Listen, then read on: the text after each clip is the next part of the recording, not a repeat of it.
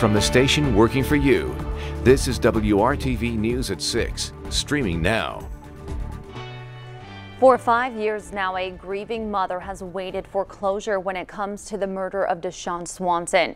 Now the FBI is offering a $25,000 reward. Thanks for joining us here at 6 o'clock. I'm Nicole Griffin. The FBI is hoping that a reward will break the silence in this case. Swanson was just 10 years old when he was shot in a drive-by shooting in his neighborhood in the Butler-Tarkington area. Today, we talked with a father who remembers the 10-year-old because his son played Pop Warner football with him. He tells us he still worries about his children and he wants Swanson's family to finally find closure. You know, being around this neighborhood, sometimes you, you know, when your kids grow up and they, they say they're going to the park, you know, you always um, wondering if they're going to come home safe or not, you know. And so the only thing you can do is just pray about that and hopefully things will get better.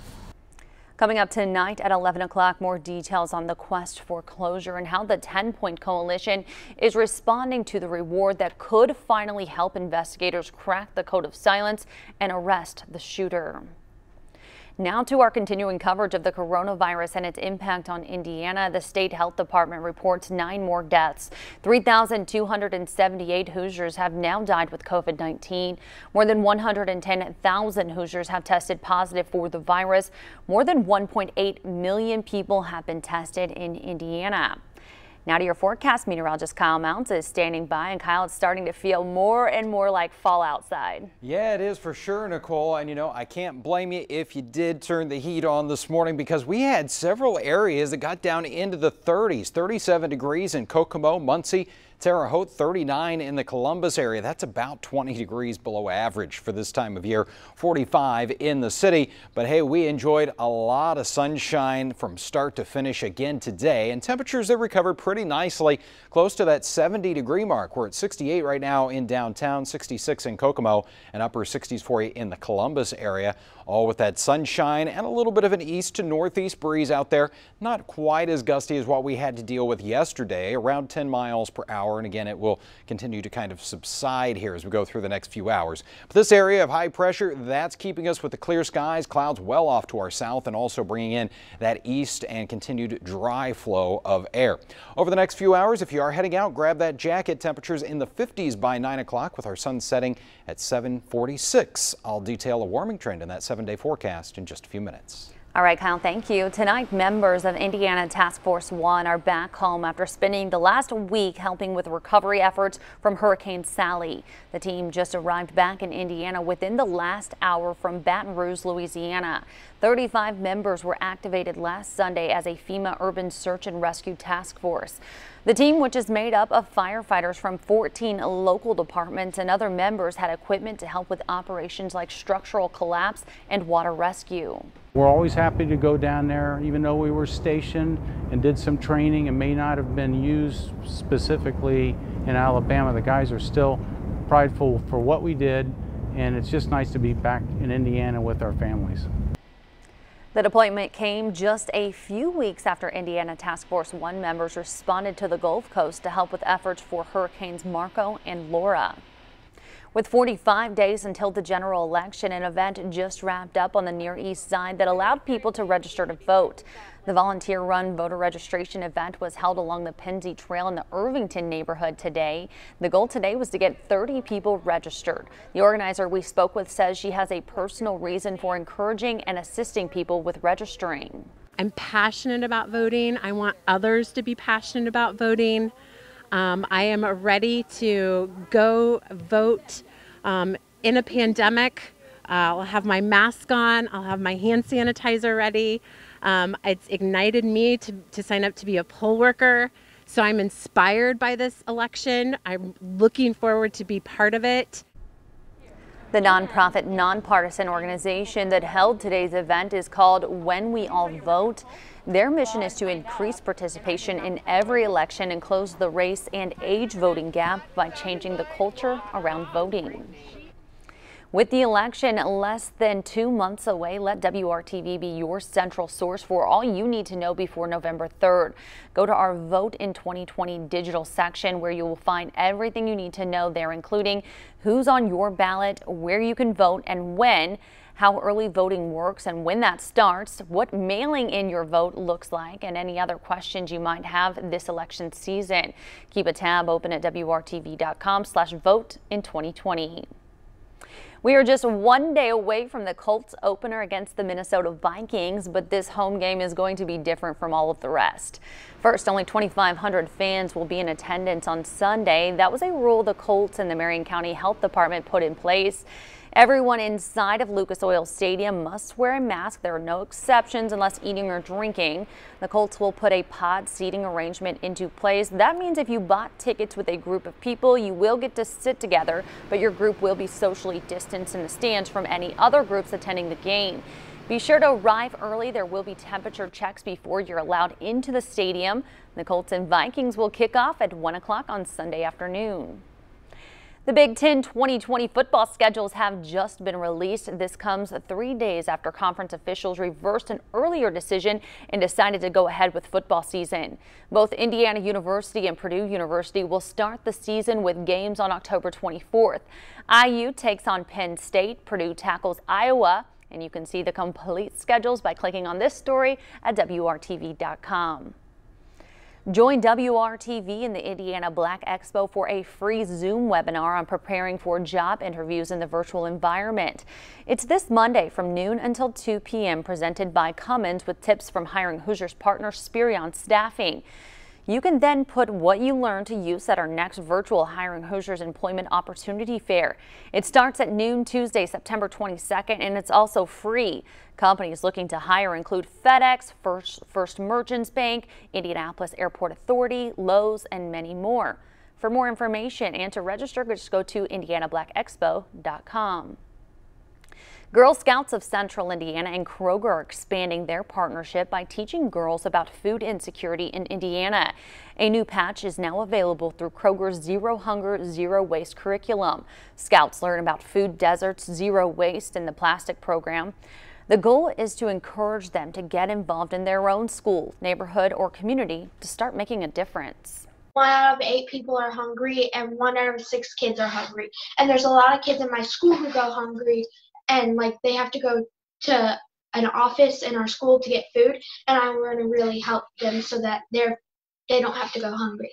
So i think there is absolutely this um, developmentally appropriate timing to bring this up and draw those connections for girls to say you know what?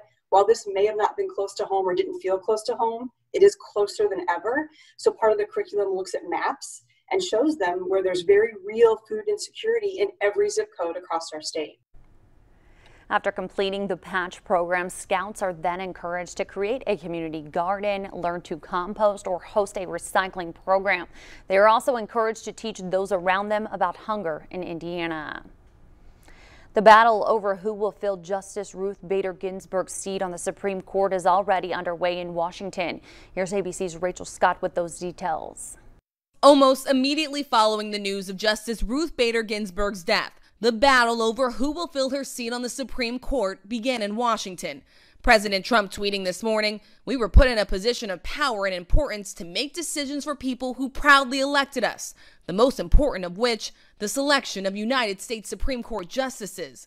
Sources tell ABC News President Trump has a short list of potential nominees, and before making any announcement, he is expected to speak with each of them. Senate Majority Leader Mitch McConnell issuing a statement Friday night saying President Trump's nominee will receive a vote on the floor of the United States Senate, and a reversal from his position in 2016 Obama, when he refused to consider continue. Merrick Garland, President Obama's nominee to the High Court after Justice Antonin Scalia died that February. This vacancy should not be filled uh, by this lame duck president. Joe Biden calling on Republicans That's to be consistent. Voters should pick the president, and the president should pick the justice for the Senate to consider. But McConnell well, says really this is a different situation, with Republicans controlling both the White House and Senate. But at least one of those Republicans, Senator Lisa Murkowski, said Friday, before the news of Ginsburg's death, that she would not vote to confirm a Supreme Court nominee right now. And Maine's Republican Senator Susan Collins, who was locked in a tight race, telling the New York Times recently she would not vote on a nominee in October saying it's too close to the election. Rachel Scott, ABC News, Washington. Rachel, thank you. The FBI and Secret Service are investigating a poisonous package someone tried to send to President Trump. White House mail is screened off-site before delivery, so law enforcement intercepted the package. They say it contained ricin. That's a toxic substance with a history of use in terror plots. A model that predicts the number of coronavirus deaths in the U.S. is changing course. It's now forecasting fewer deaths in January than it previously expected. We are talking about the Institute for Health Metrics and, Evaluation at the University of Washington. This week, it predicted that the U.S. would most likely see more than 378,000 deaths from COVID-19 by January 1st. Last week, that number was more than 415,000. The forecasts have varied depending on mask usage. And Disney plans to reopen one of its water parks next year. The Walt Disney World Resort has two water parks, the Blizzard Beach Park and the Typhoon Lagoon Park. The company has not said which park would start accepting guests, but they are floating that it could happen on March 7, 2021. They say the government first has to, to approve the reopening. The month of September continues to be very dry across the state, and that is why the state fire marshal is now putting out a warning for everyone to take precautions to avoid fires. With people outside enjoying the outdoors, whether you're camping, grilling out, or burning limbs or branches, the fire marshal has an important advice for you. He says always consider when the grass is very dry, fires can easily start and wind does play a factor. First, he encourages people to use a burn pit and a mesh screen to help contain fires certainly have a water source if it's a garden hose, a bucket of water nearby. If you're going to be grilling out, we suggest um, you know ensuring that you have uh, some type of extinguishment nearby, letting those if you're using charcoal to let those coals cool down completely or utilizing a metal bucket to dispose of those in and then filling that with water well, tonight, two counties in Indiana have burn bans in place, Lawrence and Martin County. And Kyle, take a look at that that grass there in that shot. It's very, very dry. It looks just like my yard. yeah, gonna need to start watering here if you haven't already. So it has now been more than a full month since we've had what we'll call a healthy rainfall across central Indiana. On August 18th, we picked up 0.85 inches of rain. Since then, only four hundredths of an inch of rain has fallen officially in Indianapolis. That's why we have these very dry conditions overspreading the state, even some pockets of moderate drought. This is updated every Thursday, and I do think we'll see more drought overspreading central Indiana because we are not looking at any rainfall over the next several days. More beautiful sunshine, though, will be coming our way. Our temperature right now, 68 degrees. Look at that humidity with the dry conditions in place. It is only 28 percent with a northeast breeze now under 10 miles per hour. Temperature wise, most locations in the 60s. Connersville, though, you've made it to 73, while it's 70 in Sullivan and 71 right now in the Terre Haute area. Those clear skies, though, we will see those numbers pretty quickly dropping off here. We're back into the middle 50s already at 10 o'clock tonight into the 40s, and we may see a couple more 30s out there first thing on our Sunday morning, but I think that will be very isolated. Most of us will be in the lower half of the 40s here to start off Sunday. 45 in Indianapolis, 41 for you in the Columbus area. And we will have blue skies for the Colts home opener tomorrow. The roof, the window, both going to be open there at the stadium. Temperatures 50 degrees at 9 a.m. We'll jump about 10 degrees here as we get to late morning hours and we do start a bit of a warming trend tomorrow. We will get into the lower 70s with sunny skies here. 73 in Bloomington, 72 for you in Danville, and even Kokomo getting back into the lower 70s. A little closer to average for this time of year. In fact, that warming trend is going to continue into next week as we keep things very dry here. There's that average high of 76. I think as we get into next week, we're actually back to around 80 degrees many afternoons. Let's go ahead and put it all together for you now in that seven day planning forecast. More sunshine for you on Sunday. Another great outdoor weather day. 73 degrees there.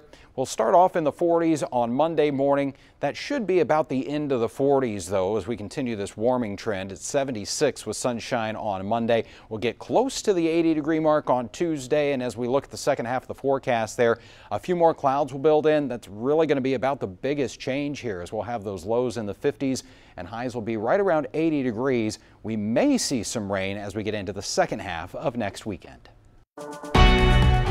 From the station working for you, this is WRTV News at 6. streaming now. Racing resumes at the Indianapolis Motor Speedway in just two weeks. After missing out on having fans at both the Brickyard 400 and Indy 500, IMS will be welcoming guests inside this time. Brad Brown has a look at the plan and how it all came together.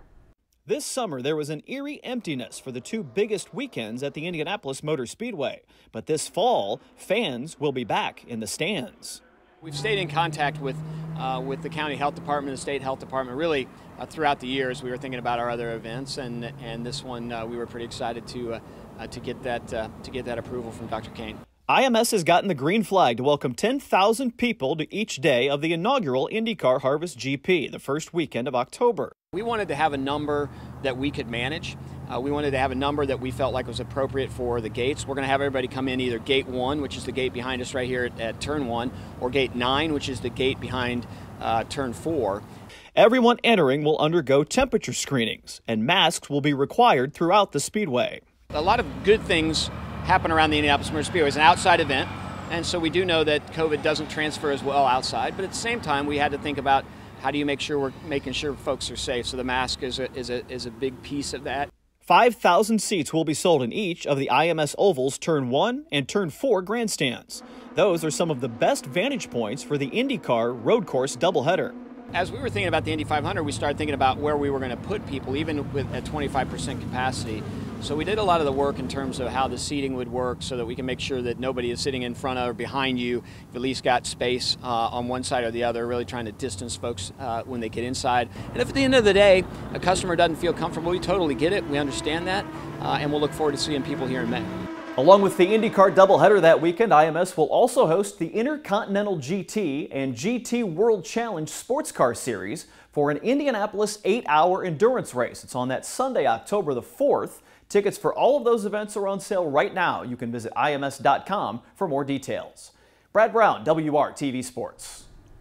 Brad, thank you. There won't be a red carpet for the stars who usually glam it up for television's biggest night, but we will get a chance to peek into their living rooms in an Emmy Award show like no other. Hollywood's biggest stars won't be taking center stage from Staples Center, but instead from home. The Television Academy issued cameras to each nominee, sending 130 of them to 20 cities and 10 countries. But one thing will be the same. Veteran host Jimmy Kimmel is back. And also think about just trying to to Zoom with your grandparents. And now imagine that we've got 150 celebrities who are uh, who haven't made themselves lunch in like 19 years. Many of them are now trying to connect technically to an award show. Well, tomorrow's primetime show on WRTV is the final night of the Emmy Awards season. Notable winners like Maya Rudolph and Brie Larson already claimed top spots at this year's Creative Arts ceremony. Kyle, that is going to be interesting to watch tomorrow night, that's for sure. Yeah, I think it'll be kind of fun actually see inside some of those stars' homes, right? Yeah, definitely. Well, Thank you so much for joining us on this digital version of WRTV News at 6. Join us right back here tonight at 11. Have a great night.